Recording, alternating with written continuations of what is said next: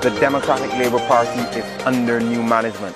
Dr. Ronnie Yearwood has been elected president, and for many, he is a breath of fresh air for a party in the doldrums. But there are also questions about his vision for the organization, his ability to mend deep divisions within the party and present a viable alternative to the government of the day. We sat down with the man himself to unpack these and many other issues here at the George Street Auditorium. First of all, congratulations on being elected the new president of the Democratic Labour Party. Mm, thank you. The first question that I have for you, obviously you are taking up a task that I don't think that many political hopefuls in Barbados would envy. You are attempting to lead a party at this juncture mm-hmm. um, that has been rejected by the people of Barbados, not once, but twice, and, and resoundingly so. Mm-hmm. Why? I think part of it is that we have to understand, I think, that the Democratic Labour Party is a pivotal institution in Barbados, its social, its political, its economic life. And the rejection of the party on those two occasions does not signal the end or the death of the Democratic Labour Party. I think that's a premature assumption. Uh, it's one that political pundits have made. This party has a rich history, it has a rich intellect, it has people who are committed to the party, it has people who want to see this party do well because when this party does well, Barbados does well, and I think um, the uh, Grenadian, young Grenadian um, opposition leader Dickon Mitchell made that point um, at the um, at the extraordinary general um, uh, meeting to elect the new president. Um, so, so I, I, I don't see this as a as a as a envious or enviable challenge or task um, that is so daunting because I keep people, you know, I, I, keep getting that question, I think sometimes from the media, well, this task is so daunting, how have you stepped into this? And, you know, the way that I see most things in life, and maybe it's because of the, the way that I grown up and my own life story, my own origin story, is that you just face it and you deal with the challenges in front of you. This is a challenge like every other challenge in life. There are Barbadians who uh, cannot put food on their table, they cannot put gas in their car. Their challenges are, are as concerning to me as the challenges that you know this party may face in its revival. And um, uh, you know, a lot of this will be focusing and trying to understand what the Barbadians want of the Democratic Labour Party uh, in the future and how do they want the party to reflect and feel and, and, and, and sound like them. And, and, and that will be a lot of what we will be, uh, we will be doing going forward. To be effective in doing that, you must understand, have a good understanding of why Barbadians have rejected the party mm-hmm. on those two occasions. To what extent have you been able to identify the factors that, that would have led to that? We have um, commissioned the appropriate reports and studies within the party, but those are, are strategy matters for the party. I, I don't think it's appropriate that the party does running commentary on its strategy and, and, and maybe that's something that, that's happened previously, but I will say it will not happen with me. Um, you know, th- we, we have to get to recognize that this is a serious uh, unit, this is a serious outfit. The job of this party is to make itself ready for governance and to regain the trust of Barbadians so that they can put us in a position that we can be one day be their government again. Because the philosophy and the foundation of this party as a social democratic party is something that is important to Barbados. And you know, we have to recognize that the party has given yeoman service to Barbados, that persons in the party have given yeoman service to Barbados. And you know, warts and all, all political parties go through their, their difficulties. This is not the first time that a political party in Barbados has had difficulty. Um, it's not the first time that a political party in the Caribbean or indeed the world has had difficulty. But the the the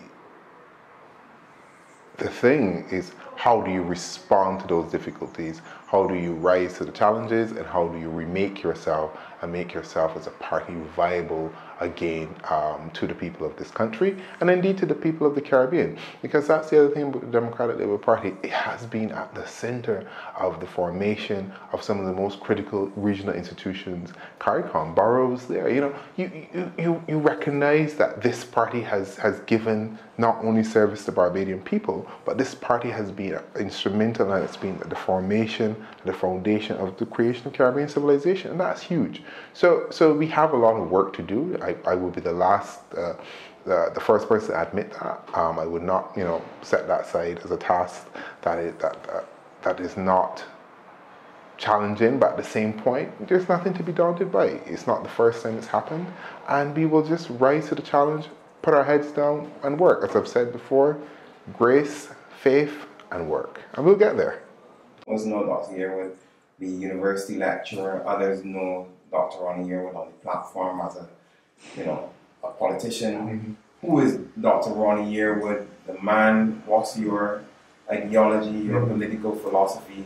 What undergirds what you do every day in this mission that you are about to embark on? There's so many facets that make up, uh, you know, an individual. Most individuals are multidimensional. There's Ronnie, the lecturer, the lawyer, the educator, the teacher, the advocate, the community activist the the father, the husband, the son, the friend. They're, you know, we all wear these multiple hats, and we all engage in these multiple roles. Uh, you know, if I if I had to tell my own origin story, it's it's and what drives me and has always driven me in politics and and and, and service. It is my own upbringing. It's the fact of I grew up in poverty. I grew up without running water, no electricity, uh, pit toilet. You know, these were the, the conditions of my early life. And I think they have shaped me. They have helped me to understand that my role in public life and is to serve and is to improve the lives of other people around me. Because when you improve one person's life chances and you provide opportunities for them they can improve the life chances of other people. It is not about handouts it's about handouts. I've said that eh, during the campaign that this is about empowering people because i've recognized that throughout my life i've been given opportunities and i've been empowered and therefore I've been able to empower other people around me and create environments that are enabling for whether it's friends, family, but you know that that is what it's about. So me coming into public life, I see government as this instrument of good. There, there's so much you can do with good government and good governance, you can really change and transform people's life. And that's what drives me uh, in, uh, in terms of my, my politics, in terms of my philosophy and my belief. At the core of it, it has to be about empowering people. And in order to do that, it has to be about political engagement. It's not just about inclusion. Inclusion is important. And one of the things that I, I, I want this, the, the, the, party to rediscover is its progressiveness and its inclusiveness as a big tent where everyone is welcome. Everyone is welcome in, in this Democratic Labour Party family. Um, but also, there's this new politics that I want to talk about, this new politics of engagement where we listen to people, where we actually hear their opinions and their views. It's not just about rubbing shoulders and you know trying to, to, to use buzzwords, but we want to really, really, really get to people uh, and engage with them, understand where they are, and then have that reflected to shape the policies and the things that are important to the party. Because the priorities of the party have to be the priorities of Barbadians. The two cannot be cannot be able to say what is important to the party has to be also what's important to Barbadians, and vice versa, that they can feed into each other, so that we can represent their values. We can look uh, and sound like them, and we can be them. Uh, and that's what this party has always been about, and it will be about that again. The current moment, 2018, we had an economic crisis, we had an IMF program. Mm-hmm. Fast forward to 2020, there's the COVID pandemic. Mm-hmm. Then in 2021, another wave of the COVID pandemic. You also have ashfall, you have a freak storm, mm-hmm. you have a hurricane, and all of these are things that the government of the day would have had to deal with. And going back to, you know, the basis upon which you have started, meeting the needs of ordinary people, perhaps persons who are in a situation similar to the one that you would have mm-hmm. grown up mm-hmm. in. What's your assessment of the response of the current government to those very pressing challenges? Let's even go back before 2018. You you know you had the global financial crisis, um, and the government then had to face those challenges. There'll always be challenges um, that a government will face. There'll always be hurricanes. There will always be um, economic fallout. There will always be some some challenges, and um, that is the job of government. That is what you're there for. I don't I don't I don't I don't buy into that that that narrative that oh we face all of these things. It's like what do you think that you're there to do?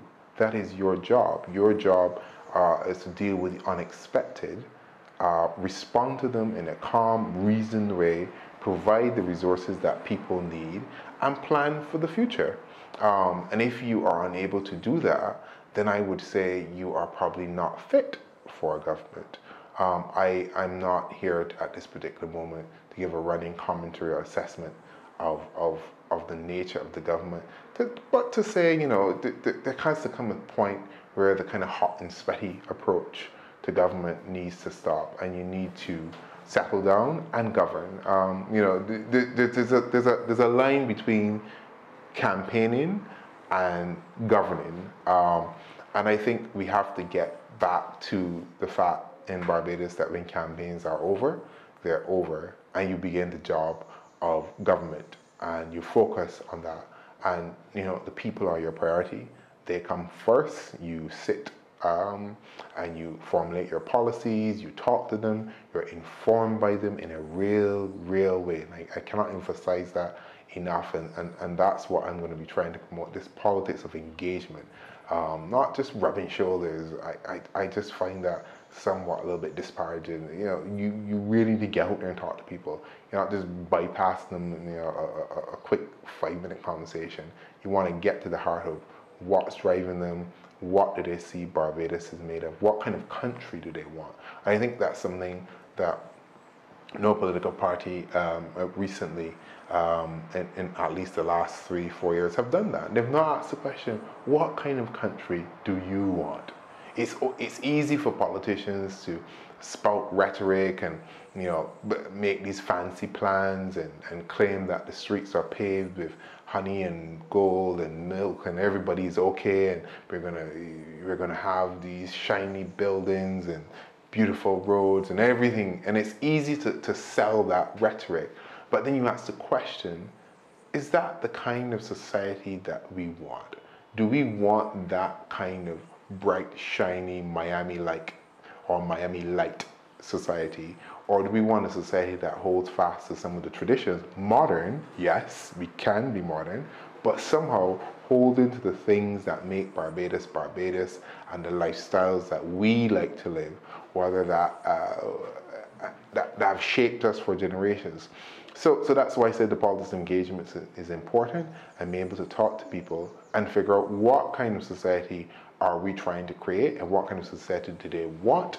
And then once we figure that out, then all the other things around that can form so we can figure out what kind of industry, what kind of um, um, service sectors or business sectors that we want to pay for the lifestyle and the society that we're trying to aim for. Right now, sometimes I feel we're shooting in the dark because we're not sure what kind of society we want, so we're always trying to catch about which industry is going to work. So you know, today it's one thing, tomorrow it's another thing. Next day the government, it's you know, you know, it's the it's the, the the government, it's the green economy, then it's the blue economy, then it's the marijuana economy, then it's the health economy, and then you're like what, what, what are we actually focusing on?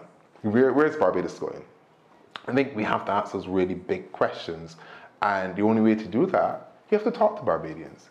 You know, uh, have we talked to Barbadians to decide is the blue economy something that the majority of Barbadians want to get involved in? I'm, I'm, I'm not saying that the blue economy is not a credible economy, don't get me wrong, but have we asked the question?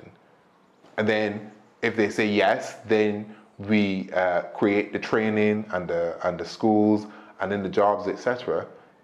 Take, that's fine. Have we asked, is the green economy something that you want to create a society around? Have we asked the serious question about fintech or the tech economy or all the service economies or all of these things? So, so I, I, I think that's really really important to have those kinds of discussions. And I don't think we're having those kinds of discussions. But I think one of the things that persons usually identify as the hallmark of a good leader, especially in a country like Barbados, is a leader who is decisive, one who is able to make yeah. decisions um, on behalf of the persons that they represent. Have you started at all to think you for, for yourself yeah. about the type of Barbados that, that you course, envision? I, I, what is that? Of course, I know the type of Barbados that I want, but it is not my job as a leader. There's a difference between decisiveness, and then there's a difference between bullying.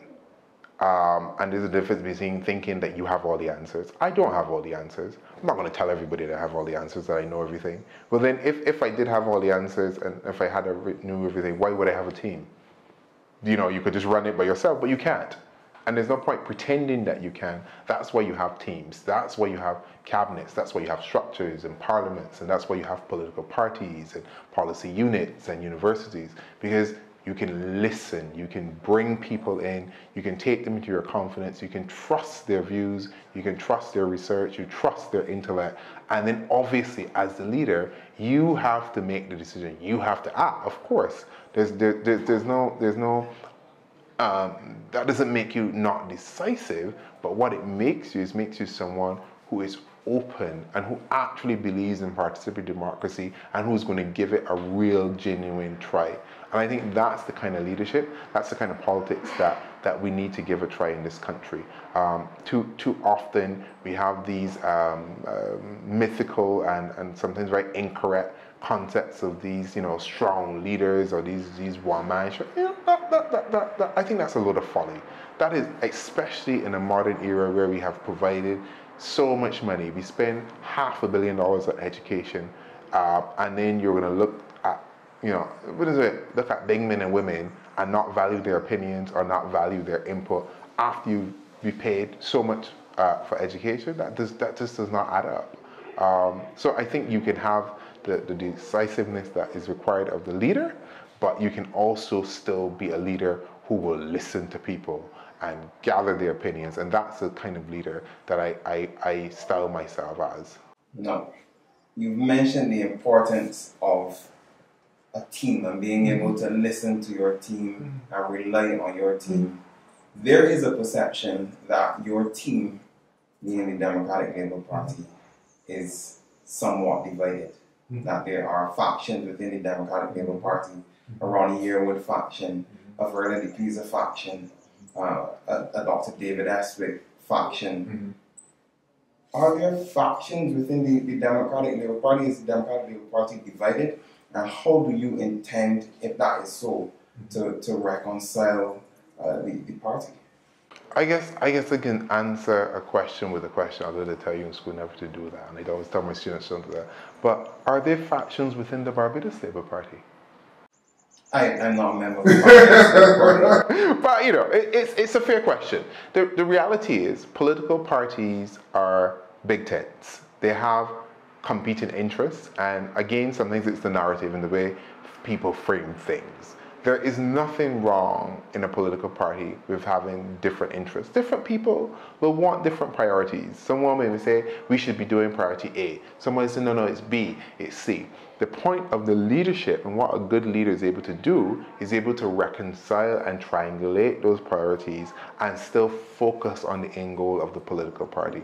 Every single political party will have varying and competing interests. That is normal um, the, the, what, what may become problematic is if those uh, competing interests get to a point where it affects the normal day-to-day functioning of the institution.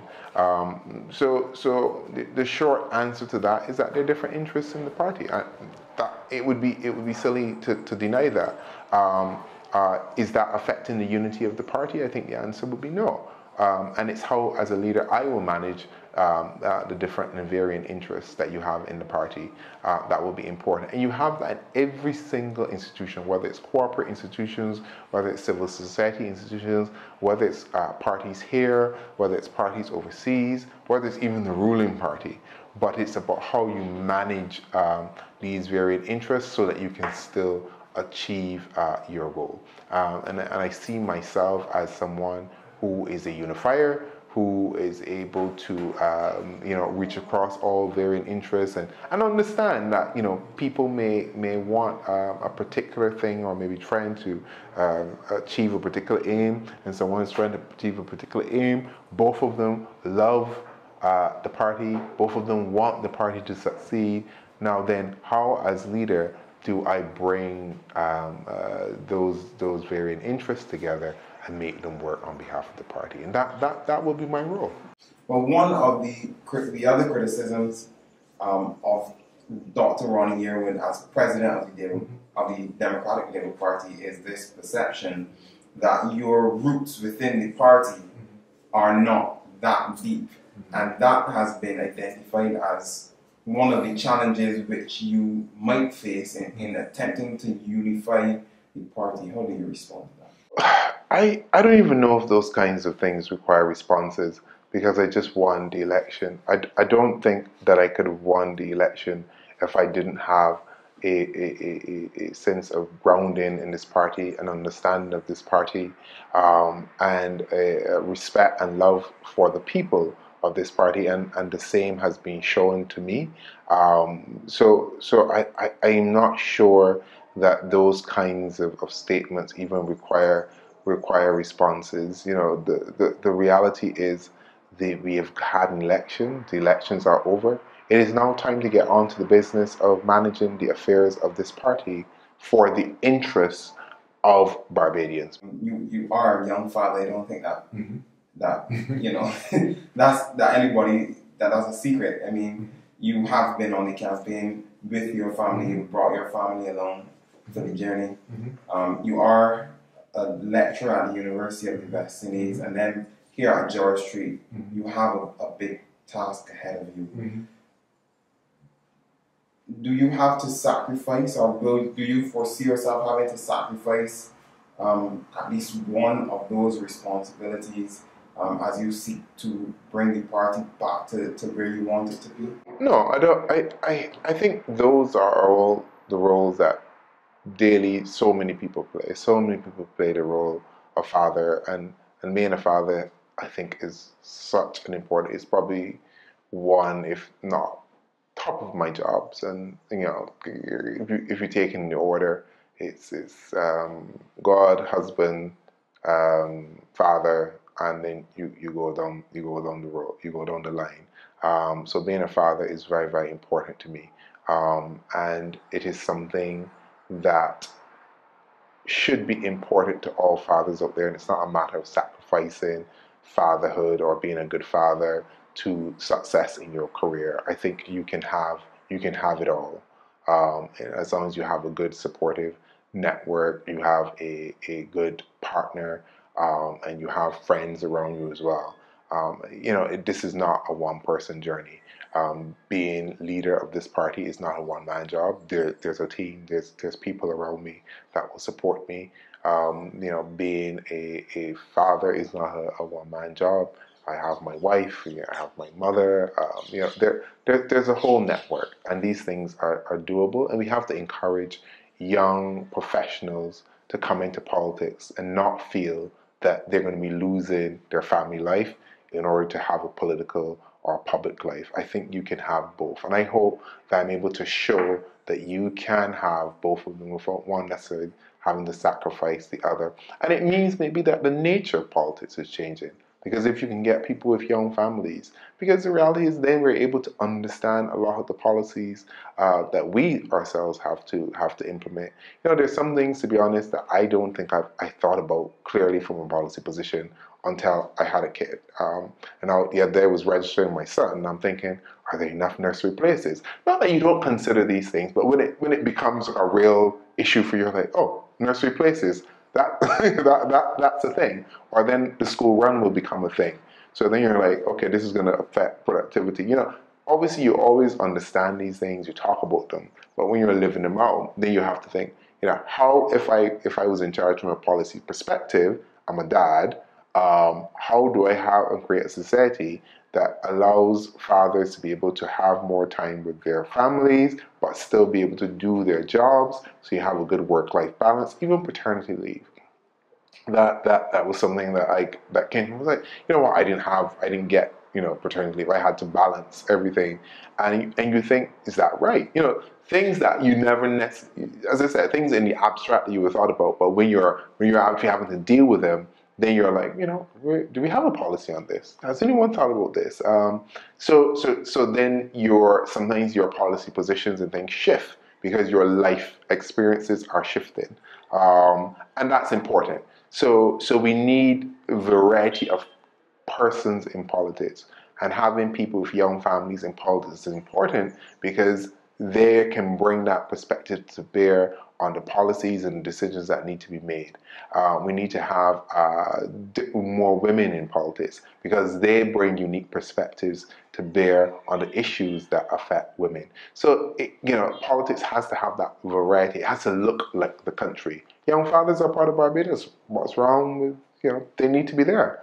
Um, women are part of Barbados. They need to be there. Um, so, so these are things that, that we have to get comfortable with, things that we have to get used to, and we have to become better as a country at including variety of Barbadians um, at different stages and phases of their lives into our political culture. That period from 2008 to 2018, the Barbados Labour Party has deemed it the lost decade, and it has stuck. And there are persons who believe that the Democratic Labour Party as an organization still ought to apologize to people in Barbados mm-hmm. for that period. Mm-hmm. What's your take on that? You know, former the former leader apologized for a number of things on a number of occasions, and I think we're past that point. Um, you know, the warts and all, I'll be the first to admit, there were missteps that were made during that period but there were also there were also things that I think Barbadians could be proud of objectively. I think anybody looking at it objectively, you know, people create narratives and they try to throw them out, and some of them stick, some of them don't.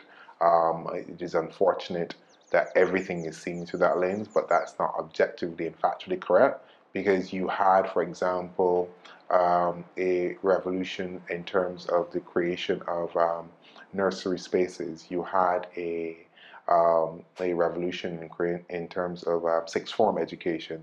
You had the uh, uh, DOS, the Best Dos Santos laboratory that is now you know the, the, the, the center of excellence in terms of our fighting against COVID. So you know if if if, if it was all I suppose we lost again. How have these things happened? That does not mean every government, every political party, there will be things that uh, missteps.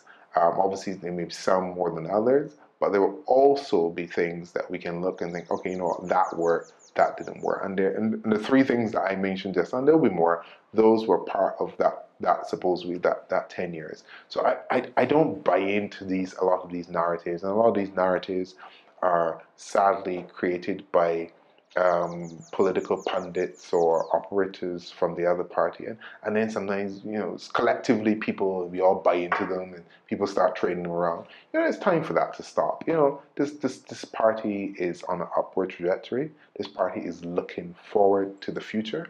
Um, you know, I think my my my winning is a signal for that. It, it's all about the future. It's all about how do we get that next generation of Barbadian um, young persons into politics and into leadership and trying to take charge and hold of the country and their destiny. Because the, the, the, reality, and I said this on the platform, a lot of the folks making the decisions now in Barbados will not be around when the effect of those decisions start to take hold. And it's going to be my generation, your generation. We're going to be the ones who are going to have to deal with all of this. Whatever, what is happening now, we are going to have to deal with it, whether it's in our professional capacities, whether it's as fathers, whether it is however, in all these different roles, but we're going to have to deal with it. And it's time for us to kind of step forward and step up um, and, and, and get involved in politics. And I, and I issue that appeal and that challenge to to to younger Barbadians um, in 30s and 40s and 20s to, to get involved. You know, come down to George Street. You know, find everybody has a, a DLP friend.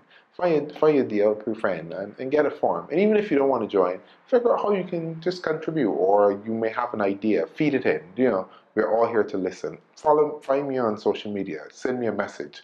Um, you know, this this is about trying to engage with you, understand what's going on with you and then trying to shape policy uh, to reflect you and, and to reflect the kind of society that you're trying to build out. Okay.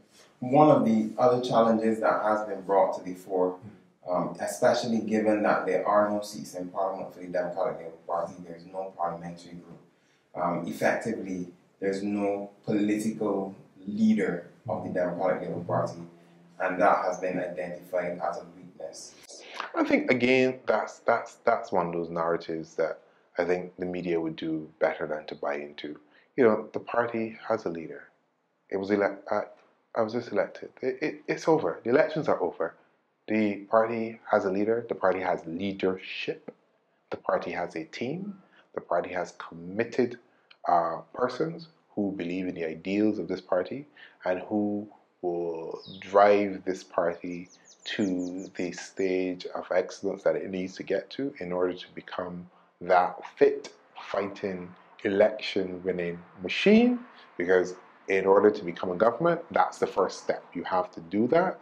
Um, and that will mean trying to regain the trust of Barbadians and the party will do that. I assure you that under my leadership that is what this party will do. And it's as I said it's not only about me because it's about leading with the people around you and having them as part of the decision making making process. And you know, people may find it odd, you know, that I'm, I'm not coming out here hot and sweaty. Maybe that's what they're used to, but you know, you're going to get some used to something different, um, and and trying to make a pronouncement on everything, um, because that that's not right. I, you know, I want my my my team and my membership to hear things sometimes first from me and not read it in the paper and go like, it's so different. I didn't realize you know, as may happen on the other side, people find out things in the news. That can't, that can't be right. That, that's not, that's not how you practice a, a, a serious, open democracy and a, and a serious participatory politics. It can't be. It cannot be. Um, and I and I hope to do it differently. And I hope people can appreciate and see the efforts of what we're trying to do. It's it's new. They may be a little bit new. They're like, well, nobody's asked my view and over like a hundred years, he actually wants to hear my view. Yes, I want to hear your view. I really want to hear your view. I really want to understand what you are going through, what you're feeling, and then we may be able to together to find a way to address it. The final question, in your estimation, based on the task that is before you, when do you envision the Democratic Party being able to come to the people of Barbados again to say this is a viable alternative to the government of the day. This is a party that can lead Barbados from the front. I have made a point that I'm not going to discuss party strategy or provide running commentaries in public. Um, but I'm not going to put deadlines and dates and, and things that, that, that we've not agreed on or no that, that's not right as i said this party will not be finding out things uh, about itself in the papers or radio programs and no no no that's not the way you that's not the way you build trust in an organization.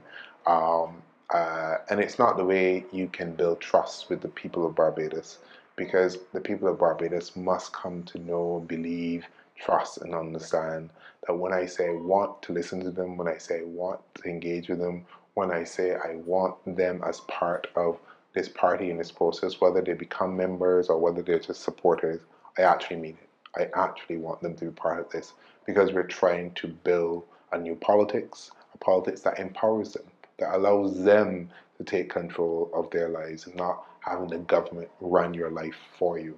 It's about you being given the opportunities and the resources and the space to be the best you can be and live out your life in the best way possible in a dignified way that you are choosing but supported by an environment created by the um, by the government, and that that's what I'm aiming for. That was newly elected president of the Democratic Labour Party, Dr. Ronnie Yearwood. I am Kareem Smith for Barbados Today. Thanks for joining us.